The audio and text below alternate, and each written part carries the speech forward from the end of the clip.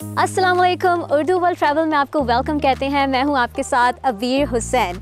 मेरे इन्वायरमेंट को देख के आपको पता लग गया होगा कि मैं आज कहाँ मौजूद हूँ। जी हाँ कैलगरी से काफ़ी लंबी ड्राइव करके मुझे मौका मिला गाँव की लाइव देखने का।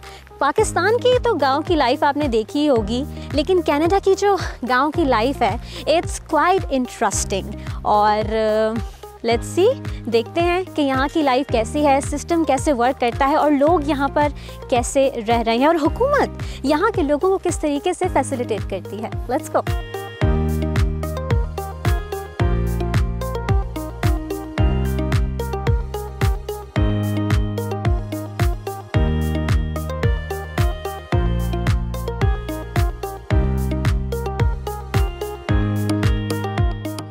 तो यहाँ आप मेरे पीछे देख सकते हैं कि किस किस्म की मशीनरी यूज़ की जाती है। यहाँ पर केस, कैट, यहाँ पर सारे ब्रांड्स इस वक्त मौजूद हैं।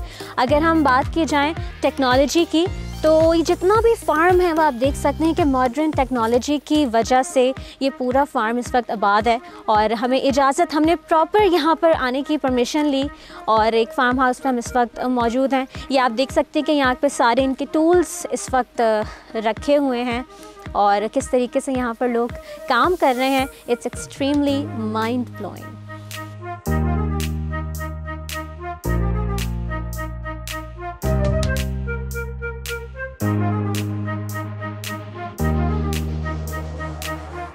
so आप देख सकते हैं कि मेरे राइट पर और लेफ़्ट पर पुरानी मशीनों को उन्होंने प्रिजर्व करके यहाँ पर रखा हुआ है।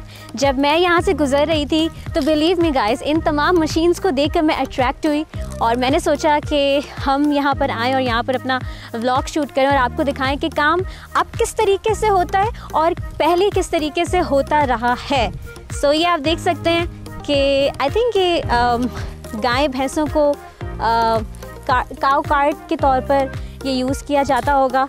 इसकी स्ट्रक्चर को देख के मुझे ऐसा लग रहा है but I am not sure if I am right और रॉन्ग और ये आप देख सकते हैं कि इस मशीन का मुझे नाम नहीं पता, लेकिन मुझे पुरानी एक फ़ील्ड याद आ रही है कि फ़ील्ड वर्क के लिए ये मशीन बेस्ट रहती होगी। और ये हल आप देख सकते हैं कि ये 100 साल पुराना हल यहाँ पर मौजूद है, लेकिन उन्होंने इसको प्रिजर्व करके रखा हुआ है ताकि आने वाले जो लोग हैं, उनको पता चल सके कि हिस्ट्री क्या थी, किस तरीके से काम होता रहा था और अब किस तरीके से काम होता है।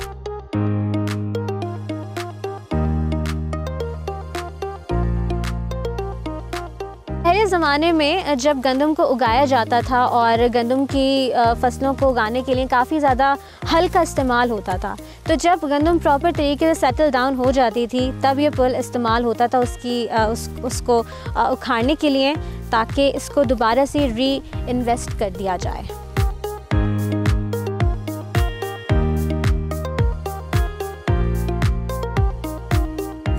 अब हमें यहाँ गाइड करने वाला तो कोई था नहीं, लेकिन इन मशीन्स को देख के इतनी अट्रैक्शन हुई कि हमने सोचा कि हम खुद ही इस मशीन को देखें और अंदाज़ा लगाएँ कि कौन सी मशीन किस किस काम के लिए इस्तेमाल होती रही होगी।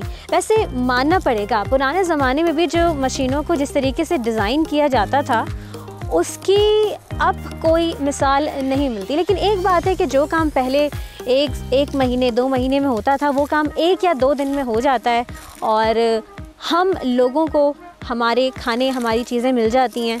सो, बस, और किस चीज़ की डिमांड आप कर सकते हैं?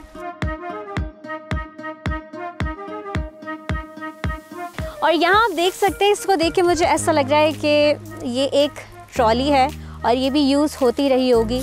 लेकिन अगर हम बात करें नई मशीनों की तो नई मशीनों में वो सारे स्पेसिफिकेशंस मौजूद हैं डिजिटली सारे स्पेसिफिकेशंस मौजूद हैं, जो इन तमाम मशीनों में मौजूद रहे थे। ऑब्वियसली जब आप हार्वेस्टिंग कर रहे होते हैं खेती बाड़ी कर रहे होते हैं तो जितनी भी मशीन्स हैं यहाँ पर मौजूद, इन सबको देख कर ही एक प्रॉपर टेक्नोलॉजी तामीर में आई और लोग अब उससे काम कर रहे हैं। और इसको देख के मुझे ऐसा लग रहा है कि ये बग्गी है और घोड़े, घुड़सवारी इस पर होती होगी। ज़ाहिर सी बात है, पुराने ज़माने में गाड़ियाँ तो होती नहीं थी तो लोगों की आना जाना जो है वो इसी बग्गी के थ्रू होता है। आप देख सकते हैं कि इसके इतने बड़े बड़े पहिए हैं और किस तरीके से इसको मेंटेन किया गया होगा, किस तरीके से इसको बनाया गया होगा। बहुत मज़बूत लकड़ी इसमें इस्तेमाल की थी ताकि जानवर भी सेफ़ रहें और जो इंसान इसमें ट्रैवल कर रहे हैं, वो भी इसमें सेफ़ रहें और बहफाजत अपनी डेस्टिनेशन पर पहुँच जाएँ।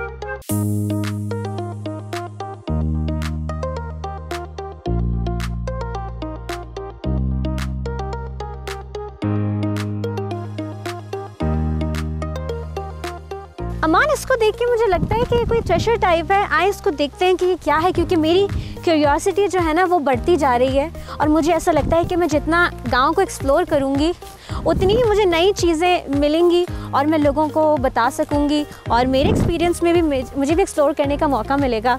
और जितने भी लोग हमारा व्लॉग देख रहे हैं उनकी मालूम में भी इजाफ़ा होगा कि, कि हिस्ट्री एक्चुअली क्या रही है।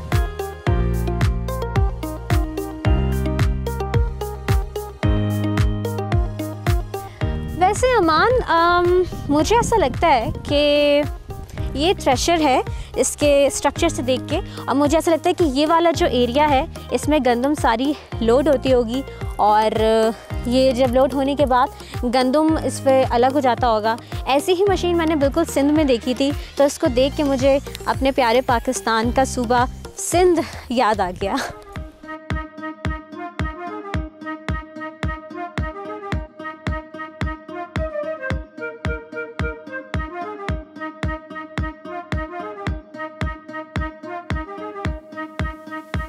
सामान ये आप देख सकते हैं। आ, ये हम एक थ्रेशर के पास मौजूद हूँ। मैंने सिंध में लास्ट टाइम देखा था। एंड यहाँ पे थ्रेशर देख के आई एम कम्प्लीटली सरप्राइज़ क्योंकि ये आ, बहुत टाइम से यूज़ होता आ रहा है।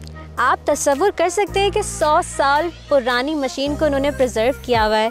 और किस तरीके से इसमें गंदम लोड होता होगा, गंदम बाहर आता होगा और किस तरीके से काम किया जाता होगा। ये चेन भी आप देख सकते हैं कि चेन किस तरीके से यूज़ होती रही होगी। My god this is so super good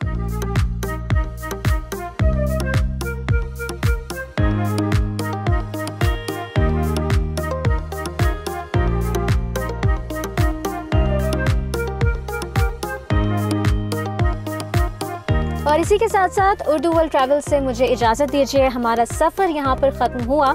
जाने का तो दिल नहीं है, लेकिन जाएँगे नहीं तो नई जगहों के साथ वापस कैसे आएँगे? अपना ख्याल रखिएगा बहुत ज़्यादा। अबीर हुसैन को इजाज़त दीजिए। इन आपसे मुलाकात होगी अगले ब्लॉक में। Tata bye bye signing out